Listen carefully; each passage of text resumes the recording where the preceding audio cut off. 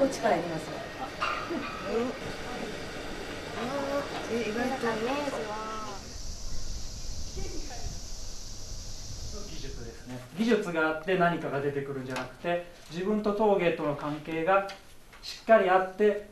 そのためにはどの技術が必要かっていうスタンスであのやっていきます。ですので一年次は割と幅広くですね。まああの各自がその作家としてのテーマを持ってでそれを1年かけてそれを取り組んでもらうっていう感じなんです。これペダル踏むと回る仕組みになってます。大体こういう状態になってると思うのでこちらを最初に水をよくつけて上に伸ばしていきます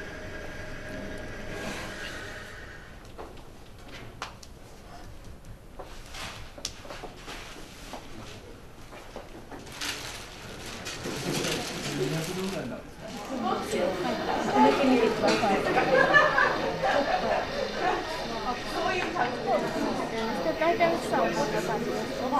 まずで最後にこうやってやって口をきれいにするここをちょっとこう離してあげると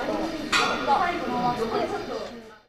て難しかったですねはいもう全身に力が入る感じで。そうですね。もともとあの食器集めがすごく大好きでまあいろいろなまああのお店行ったり、まあ、美術館行く間に、まあ、あの陶芸に興味を持ちまして本格的に学びたいと思っているのでちょっと今いろんな学校の、まあ、見学に行っているところです。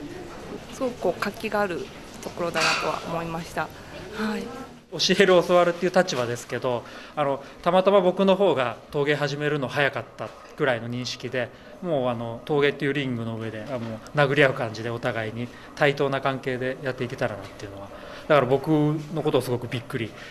させてほしいし僕もこうびっくりさせたいしっていう関係でやっていけたらなと思います。そっちの方から上げてくるんですか？私片手で上げるタイプですね